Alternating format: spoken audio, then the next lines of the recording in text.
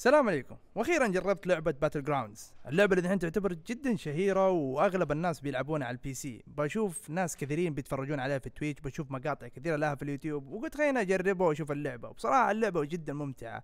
فكرة اللعبة بسيطة جدا إنهم يرمونك في عالم مفتوح ويقول لك أنت حاول إنك تكون آخر واحد حي. فهذه شوية صعبة. بس ولكن قبل ما أبدأ المقطع وأتكلم عن اللعبة أكثر بس حاب أذكركم إنه قاعد اجرب اللعبة دي على كرت الشاشة من انفيديا GTX 1080 Ti وعلى دقة 1080 وأيضا المواصفات على أعلى شيء. كان بإمكاني إني أجرب اللعبة على 4K بس ولكن على 4K إذا تبغى تجيب فوق ال 60 frame لازم شوية تنزل من الإعدادات بدل ما تخليه على ال ultra لازم تخليه على ال high أو ال medium وأيضا زي ما أنتم شايفين في ركن الشاشة في الفريمات اللي كنت ألعب عليها اللعبة.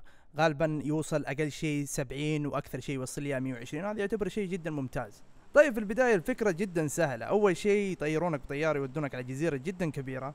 يكون في مية شخص حينزل من الطيارة هذه وكل واحد يختار المكان اللي بينزل ينزل أو متى تبغى تنزل من الطيارة. فتنزل من الطيارة وتروح تشوف لك أي بيوت قدامك وأيضا أذكركم إنه حتنزل وما معك ولا شيء لا سلاح لا درع ولا أي حاجة بس اللهم لبس. بس هذا الشيء الوحيد اللي عندك.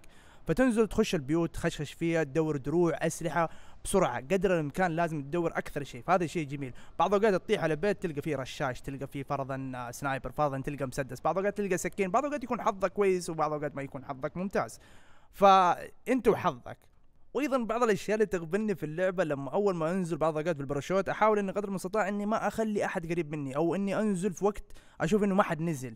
بس بعض الاوقات يجيك هذاك الإنسان الغليظ اللي ينزل معاك وتطلوا في بعض كذا وانت نازلين باراشوت تقول إيش نزلك معايا؟ فتحاولوا إنكم تتسابقون أنتوا الاثنين إنه كل واحد بسرعة يلاقي له أي سلاح وياخذ بسرعة عشان يقتل الثاني. بعض الاوقات تتورط وبعض الاوقات تطلع معك سلاح كويس. بعدين كمان أيضا دارسين فكرة اللعبه مره بشكل جيد. أحلى ما فيه إنه بعض الناس يقول لك طيب يمديني الماب مرة كبير وعالم يعني جدا جدا كبير الجزيرة فيمديني أزمن في مكان لين لما الناس تموت وتقاتل بعضها وخ- وخلاص انتهى. لا في زي الدويره كبيرة زي الحاجة كذا زي التسمم أو ما أدري بالضبط إيش بس إنها دائرة زرقاء.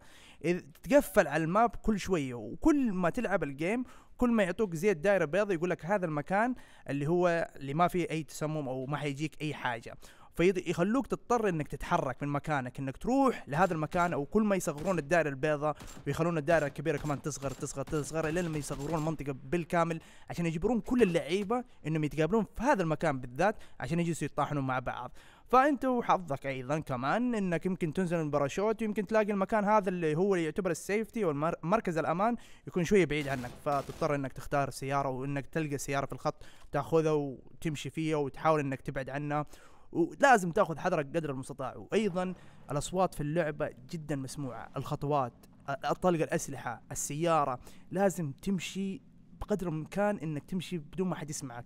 حاول إنك بعض الأوقات حتى في أعداء قدامي أشوفهم أتركهم. يمكن ما اقتلهم بس عشان أخاف إنهم يسمعون أصوات عشان ترى يعني أغلب الناس يكون فيهم كذا زي ما تقول همجيه كذا بس يبغى يشوف أي واحد يروح يقتل على طول. عشان كذا أقول لكم نصيحتي إنه حاول بقدر الإمكان إنك تكون دائما على الصامت. يعني لا حد يسمعك وحاول إنك تعرف تحركاتك زين ولا تاخذ السيارة بكثرة ولا تطلق طلقات عشوائية بالسلاح لأنهم حيسمعونك على طول الاعداء الثانيين. لأنه فكرة اللعبة إنه كل واحد يقتل الثاني ويبقى الوحيد اللي في ال game من بين 100 شخص آخر واحد عايش هو اللي يفوز. فمرة انبسطت بال game مرة استانست فكرتها مرة مرة جيدة. بس ولكن حاليا اللعبة متوفرة على ال PC آه اللي هو ال early access ال beta. موجودة تقدر تشتريها الظاهر ب 20 دولار. ولكن حتنزل على ال console مثل الاكس بوكس وبلاي ستيشن آه 4 حينزل على نهاية 2017 بس لكن إذا أنت مرة متحمس إنك تجربها حاليا فيمديك تجربها حاليا على ال PC كذا نوصل لنهاية المقطع عن انطباعي عن لعبة Battlegrounds وكانت بصراحة اللعبة يعني إذا عندك PC حاليا أنا أنصح إنه الواحد يحمله ويروح يجربها بصراحة. فكرة مرة رائعة. لعبة أبدا ما فيها شيء اسمه درعم.